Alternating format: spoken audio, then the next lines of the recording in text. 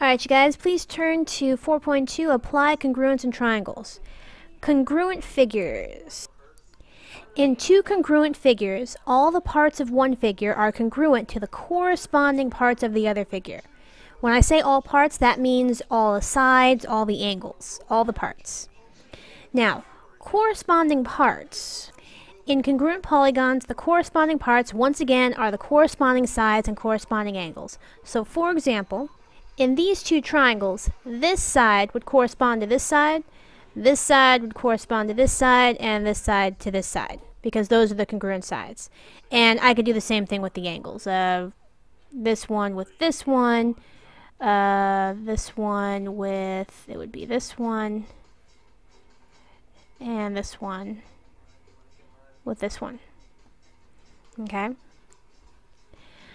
Alright, so, for example, write a congruent statement for the triangles, identify all parts of co uh, congruent corresponding parts.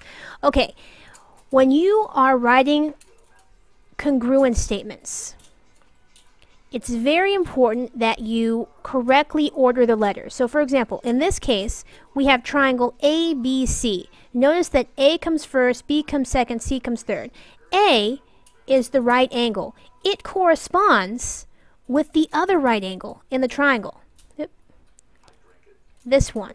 So because A comes first and it's a right angle, in the other triangle, F has to come first because that's also the right angle.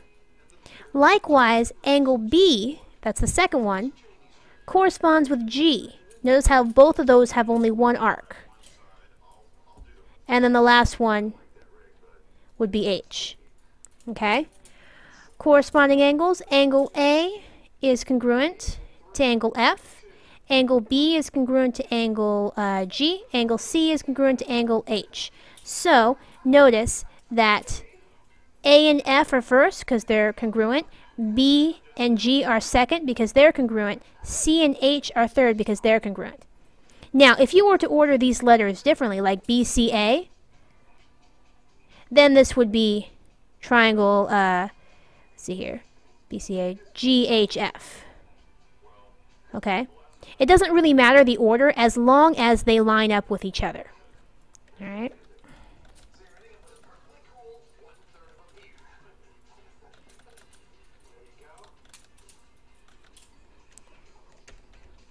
Okay, corresponding sides, AB, it has two dashes, so it corresponds with um, FG. BC has three dashes, so it corresponds with GH. And CA corresponds with um, HF.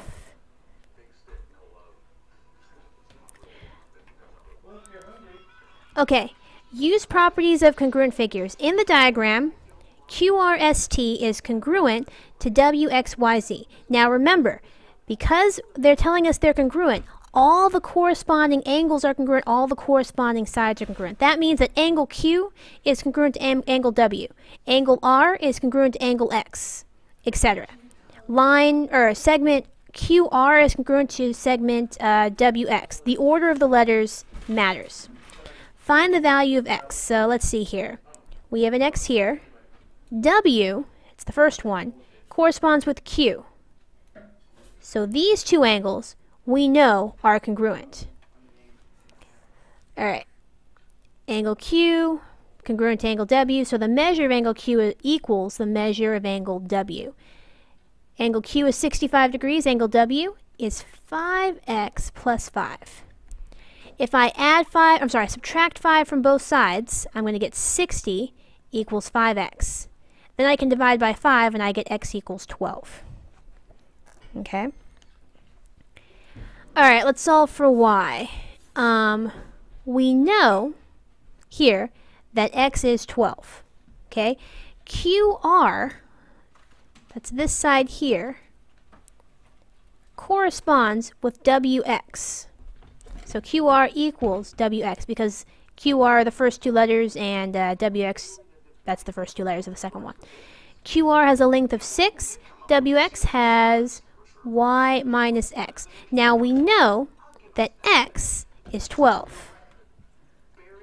So I'm going to substitute 12 for x. Now, if I add 12 to both sides, I get y equals 18. Alright, let's go on to page 2. Checkpoint. You guys can do those. And let's see. Maps. If you cut the map in half along PR, let me uh, draw what's missing here. This is a right angle, and this is labeled Q. Um, this continues here. This is angle 3. This is angle 4. And this is R. And there are two dashes here. It's a rectangle. Okay, if you cut the blah, blah, blah, will the sections of the map be the same size and shape? Alright, from the diagram, angle S is congruent to angle Q. Because all right angles are congruent. Also, by the lines perpendicular to a transversal theorem, PQ is parallel to SR. Okay, because um, two lines perpendicular to the same line have to be parallel to each other. So if these lines are parallel, then angle 1 has to be congruent to angle 4.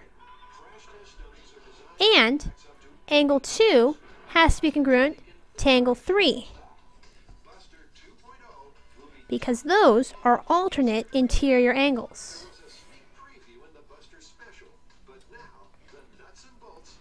Okay, so all pairs of corresponding angles are congruent. These angles are congruent, these angles are congruent, these angles are congruent. So all three angles in each of these triangles are congruent. Now, it shows that PQ is congruent to SR, or RS. Doesn't matter which order you write the letters in. QR, it's shown, is congruent to SP. So, um, also, PR is obviously congruent to itself. That's reflexive property.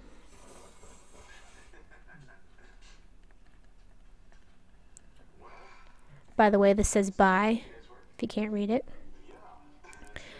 Um, all corresponding parts are congruent. So we've shown all the angles are congruent, and now we've shown all the sides are congruent. So triangle PQR is congruent to triangle RSP. Remember, you make sure you order the letters correctly. So P, that's this one, has to be the same place as R because those are the corresponding angles. Q, that's this one, has to be the same place as S because th those are the corresponding angles, etc. So the answer is yes, the two sections will be the same size and shape.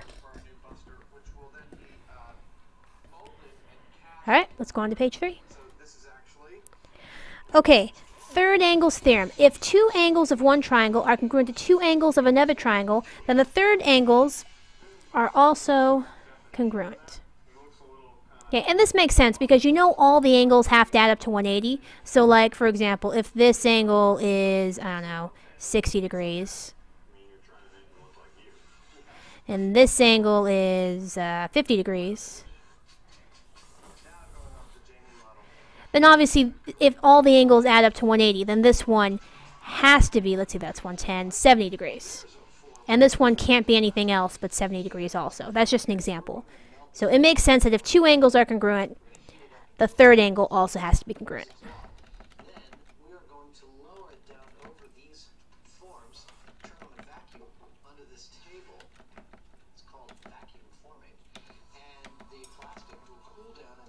Okay. So, for example, um, find angle V. So we're looking for this angle here.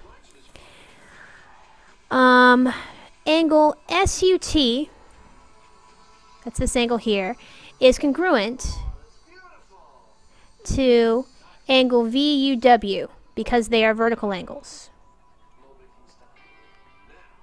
Vertical angles, congruence theorem. You could just write vertical angles are congruent either way. the diagram shows that angle STU is congruent to angle VWS. Okay. Or VWU. I guess we'll, we'll use the middle letter since this angle uses the middle letter. You could call it VWS, but whatever. So, by the third angles theorem, angle S has to be congruent to angle V. By the triangle sum theorem, angle, uh, the measure of angle S equals 180 degrees minus 66 minus 44. And um, you know what I'm going to do? I'm just going to do these one at a time. That's uh, 114 minus 44, 70. So the measure of angle S, which we already determined equals the measure of angle V, has to be 70 degrees. Okay? Okay, example 5. Prove that triangles are congruent. Okay, we're given in the diagram FH is congruent to JH, um, FG is congruent to JG, and these angles are congruent, these angles are congruent. We need to prove that the, the, the triangles are congruent. Okay, this is the plan. We need to show, we're already given two sides and two angles. We need to show that this angle is congruent. I'm sorry, this angle, this side is congruent by reflexive property.